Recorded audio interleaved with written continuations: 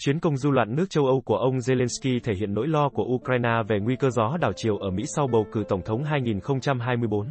Đứng cạnh Thủ tướng Đức Olaf Scholz hôm 14 tháng 5, giữa chuyến công du chớp nhoáng tới các nước Tây Âu, Tổng thống Ukraine, Volodymyr Zelensky ghi nhận vai trò của Berlin là bên cung cấp viện trợ lớn thứ hai cho Kiev chỉ sau Washington. Tôi nghĩ chúng tôi sẽ cố gắng để đưa Đức lên vị trí số 1, ông Zelensky nói, trong khi Thủ tướng so mỉm cười. Bình luận mà Tổng thống Zelensky đưa ra trong chuyến thăm Berlin có phần lạc quan, nhưng đã phản ánh một nỗi lo thực tế, khi cuộc xung đột giữa Ukraine và Nga đang bước vào giai đoạn cực kỳ nhạy cảm, theo giới phân tích. Nỗ lực của Kiev nhằm lôi kéo ủng hộ từ các đồng minh, nhiệm vụ diễn ra gần như liên tục từ khi Moscow phát động chiến dịch quân sự hồi tháng 2 năm ngoái, đang ngày càng bị phủ bóng bởi kịch bản Mỹ sẽ không còn là nhà viện trợ hàng đầu cho Ukraine sau cuộc bầu cử tổng thống 2024. Ở mức độ nào đó, Điều này chứng tỏ châu Âu đang bất an trước cuộc bầu cử sắp diễn ra tại Mỹ. Liana Fish, chuyên gia tại Hội đồng quan hệ đối ngoại, Viện Nghiên cứu có trụ sở tại New York, nhận xét. Châu Âu muốn khẳng định họ vẫn sẽ tiếp tục giúp đỡ Kiev ngay cả khi gió đảo chiều ở Mỹ, nhằm làm rõ rằng cuộc chiến này là mối đe dọa đối với cả Ukraine lẫn châu Âu.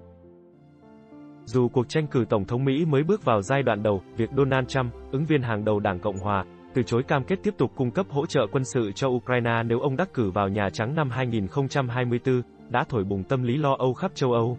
Berlin đang chuẩn bị cho khả năng Donald Trump có thể đánh bại Tổng thống Joe Biden trong cuộc bầu cử năm sau, tờ Der Spiegel của Đức viết vào tháng trước, đồng thời nhận định kết quả như vậy có thể gây ra thảm họa cho cả Ukraine và NATO. Là đầu tàu kinh tế của châu Âu, Đức trước đây từng có mối quan hệ tương đối căng thẳng với Ukraine xung quanh vấn đề mức độ hỗ trợ quân sự mà Berlin sẽ cung cấp cho Kiev. Chuyến thăm cuối tuần qua đánh dấu lần đầu tiên Tổng thống Ukraine tới Berlin kể từ thời điểm xung đột bùng phát.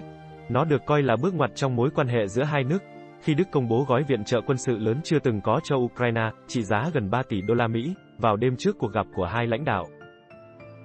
Chỉ hơn một năm trước, thái độ gay gắt của Ukraine đã khiến Tổng thống Đức Frank-Walter Steinmeier phải hủy chuyến thăm Kiev. Việc Đức ngần ngại cung cấp vũ khí hạng nặng cho Ukraine cũng là nguyên nhân khiến mối quan hệ song phương trở nên lạnh nhạt suốt nhiều tháng.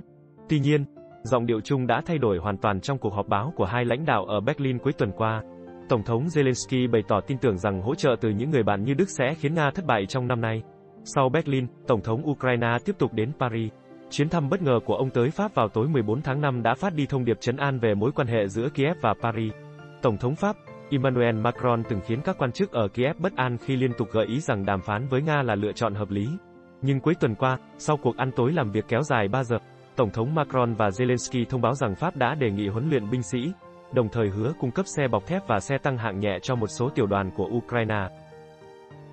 Tại Anh, Thủ tướng Rishi Sunak đã ôm Tổng thống Zelensky sau khi lãnh đạo Ukraine từ trực thăng bước xuống dinh thự Chequer, nơi nghỉ dưỡng của Thủ tướng Anh ở ngoài ô thủ đô London, để thực hiện chuyến thăm không thông báo trước với truyền thông. Thủ tướng Anh tuyên bố London sẽ cung cấp cho Kiev thêm hàng trăm tên lửa phòng không, cũng như máy bay không người lái UAV tấn công tầm xa. Ông Sanak từ khi nhậm chức đã nổi lên như một người ủng hộ nhiệt thành với Ukraine. Tuần trước, anh thông báo đã chuyển cho Ukraine các tên lửa hành trình Storm Shadow hiện đại với tầm bắn trên 240 km. Với Ukraine, thúc giục châu Âu thể hiện những cam kết hỗ trợ vững chắc mới là cách để xoa dịu những lo ngại rằng bất cứ thay đổi nào trong nền chính trị Mỹ có thể cản trở dòng viện trợ trong tương lai. Nếu tôi là Tổng thống Zelensky, tôi sẽ muốn nhìn thấy động lực hỗ trợ rõ ràng ở châu Âu trong thời gian Mỹ chuẩn bị bầu cử, Thomas Glenbrockhoff, học giả tại Quỹ Marsan ở Berlin, Đức cho hay.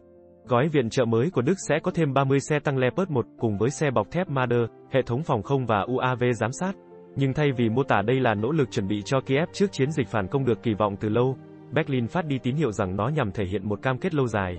Tất cả chúng ta đều hy vọng cuộc chiến khủng khiếp này sẽ nhanh chóng kết thúc, Bộ trưởng Quốc phòng Đức Boris Pistorius nói hôm 13 tháng 5, khi khoản hỗ trợ được công bố.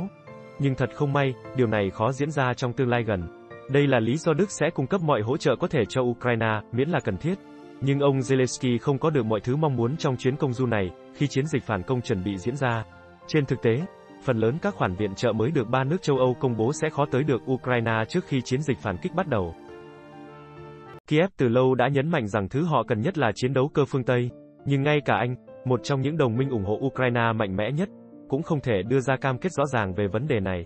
Thủ tướng Sanak hứa hẹn sẽ giúp huấn luyện phi công Ukraine sử dụng máy bay chiến đấu của NATO, nhưng lưu ý rằng việc xây dựng sức mạnh cho không quân Ukraine không phải nhiệm vụ dễ dàng. Nguyên nhân khiến phương Tây chỉ hoãn hỗ trợ tiêm kích cho Ukraine bắt nguồn từ mối lo ngại của NATO rằng họ sẽ bị nhìn nhận như một bên đang trực tiếp tham gia vào cuộc đối đầu với Nga. Chuyến công du châu Âu của ông Zelensky cũng không tạo được nhiều biến chuyển với lời kêu gọi lâu nay rằng NATO cần nhanh chóng kết nạp Ukraine làm thành viên. Đã đến lúc xóa bỏ điểm không chắc chắn nhất về an ninh châu Âu, đó là đưa ra một quyết định chính trị tích cực về tư cách thành viên NATO của chúng tôi, Tổng thống Ukraine nói trong một video được ghi sẵn cho Hội nghị Thượng đỉnh Dân chủ Copenhagen ngày 15 tháng 5. Nhưng khi xuất hiện cạnh Tổng thống Ukraine tại Berlin, Thủ tướng Đức So đã bỏ qua chủ đề này. Sự ủng hộ của công chúng đối với việc kết nạp Ukraine vào NATO đến nay vẫn chỉ giới hạn ở các quốc gia ở rìa đông của liên minh.